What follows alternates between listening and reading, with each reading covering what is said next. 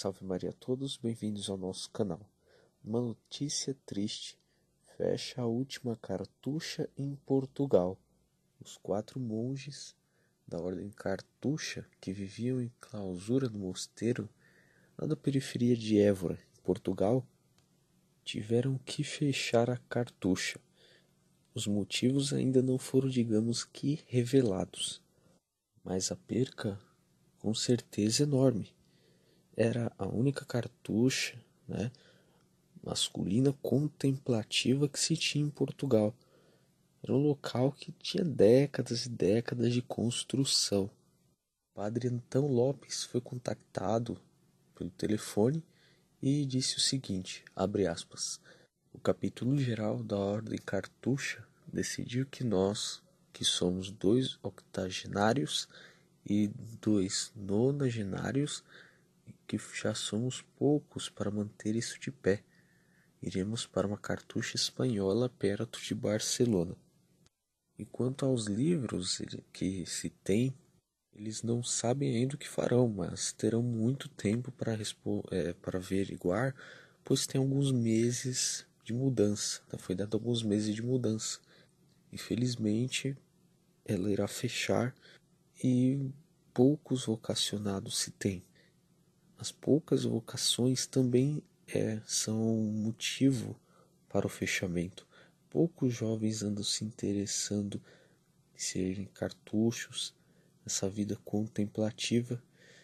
Infelizmente, um lugar que tem anos e anos de história irá fechar e não se sabe o que será construído no local ou se vão reaproveitar deste local sagrado para alguma coisa. Ele já passou por grandes crises por mil, em 1800, né? Foi vendido, confiscado, teve os bens até roubados, né? E foi reconstruído em 1948 por Vasco Maria Eugênio de Almeida, bisneto de José Maria, que devolveu para a ordem cartusiana. Infelizmente resistiram até agora, né? É realmente também muito grande para poucas pessoas poder manter e o custo também é muito alto. É. Não é fácil mesmo manter com tantas poucas pessoas, tantas poucas vocações. É um local que é histórico por famílias, é, funcionários e etc. Muitas vocações boas brotaram dali e com certeza também um centro de caridade muito grande muito importante para Portugal também, para as pessoas desta redondeza, né? onde se ainda tem pessoas que precisam da ajuda da Santa Igreja para poder comer, se alimentar e até vestir. Fica aqui os meus pêsames, mas eu creio que o futuro de tudo isso está nas mãos dos jovens para restaurar todas as coisas em Cristo.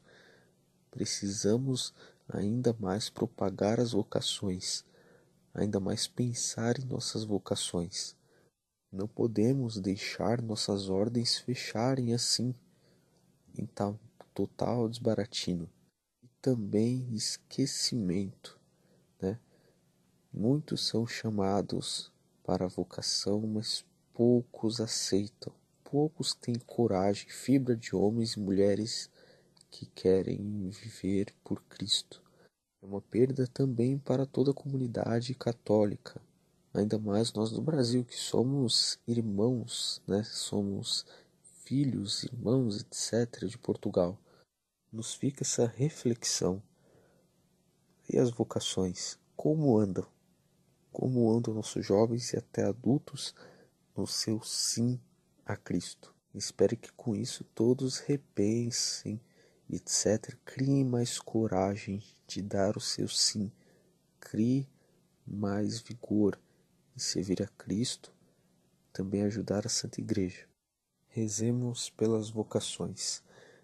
Deus abençoe a todos. Siga nosso canal, isso é muito importante, né? Ative o sininho para você ficar mais inteirado aos vídeos novos, etc. E acompanhe a página da Ação Missionária São Pio X. Sempre postamos textos legais lá, fotos da tradição e datas de missas tridentinas pelo Brasil todo. É o nosso simples e singelo apostolado que abrange todo o Brasil. São Pio X, ora pro nobis, Maria sempre.